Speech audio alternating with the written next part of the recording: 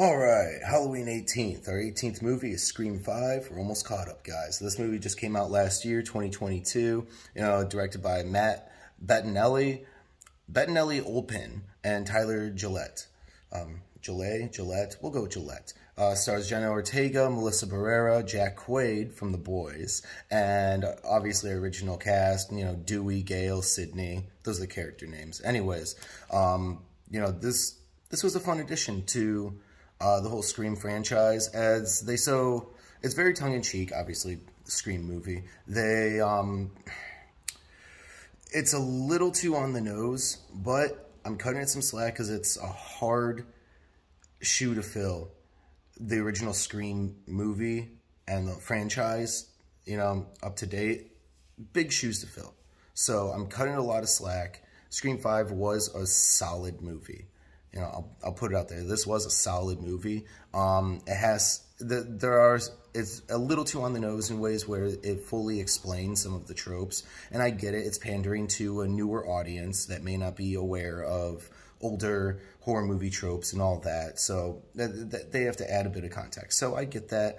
Um, besides that, it's really fun. It's really fun. I'm a fan of Jenna Ortega. I think she does great job. She does a great job in the film. I've liked her in other films, especially in X. Um, I liked her in the second Babysitter movie. But anyways, you know, it's at certain times there's some stiff acting. Um, that's generally from our newer cast, Jenna Ortega and Melissa Barrera. The, now, I say that they're good actors. I only say that because it might have just been some awkward lines to deliver. This might be a writing thing and because the writing was a little too on the nose, a little too tongue-in-cheek, that some of the lines came off a bit stiff. But that's really the major criticism I have with this. It plays into all the tropes. It plays into all the cliches, does it in a brilliant way. Like I said, it's a little on the nose with certain things, but they have to pander to a newer audience, so they do a great job with that.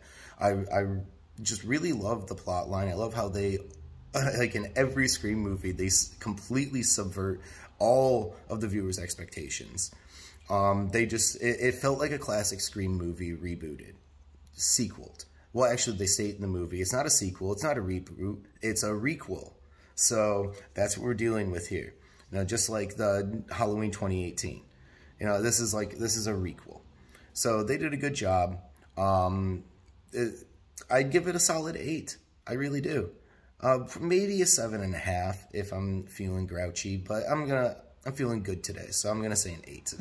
it's a solid movie. It's a fun ride. I do recommend it, especially if you're a Scream fan. You will love it. The the other major criticism I have, though, I might say, big spoiler here, is I really thought they did Dewey dirty um, with a certain scene. Um, I'm just going to come out and say he's a legacy character, Dewey, and they killed him off in a really shitty way. Oh, I shouldn't say shitty, but it just it it felt in a cheaper way. It just felt cheap to me. But other than that, um, at least they tried to sort of make him a hero while doing it. But other than that, solid movie.